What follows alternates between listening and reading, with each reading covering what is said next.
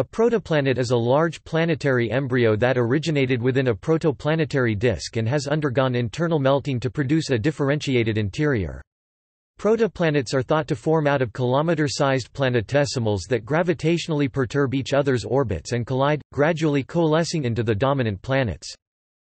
In the case of the Solar System, it is thought that the collisions of planetesimals created a few hundred planetary embryos.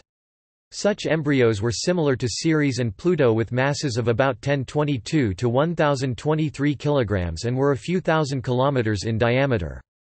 Over the course of hundreds of millions of years, they collided with one another. The exact sequence whereby planetary embryos collided to assemble the planets is not known, but it is thought that initial collisions would have replaced the first generation of embryos with a second generation consisting of fewer but larger embryos.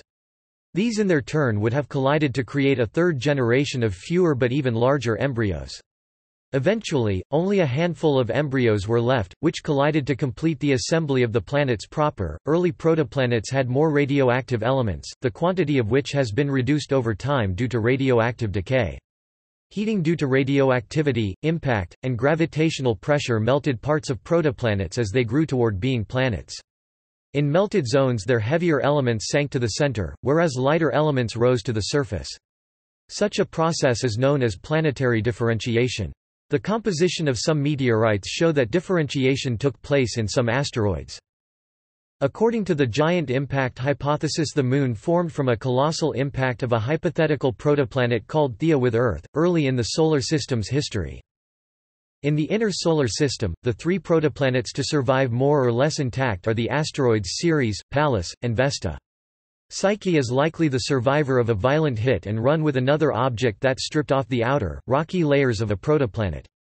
The asteroid Métis may also have a similar origin history to Psyche. The asteroid Lutetia also has characteristics that resemble a protoplanet. Kuiper belt dwarf planets have also been referred to as protoplanets. Because iron meteorites have been found on Earth, it is deemed likely that there once were other metal-cored protoplanets in the asteroid belt that since have been disrupted and that are the source of these meteorites. In February 2013 astronomers made the first direct observation of a protoplanet forming in a disk of gas and dust around a distant star. See also Fusor astronomy. Mesoplanet. Planetesimal. Topic. References. Topic. External links. Thread on the definition of a protoplanet. Minor planet mailing list. July 15, 2011